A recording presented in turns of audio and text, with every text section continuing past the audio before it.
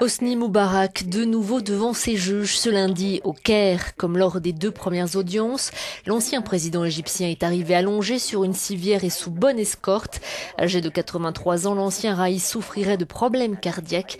Il est jugé pour corruption, détournement de fonds publics et meurtre avec préméditation.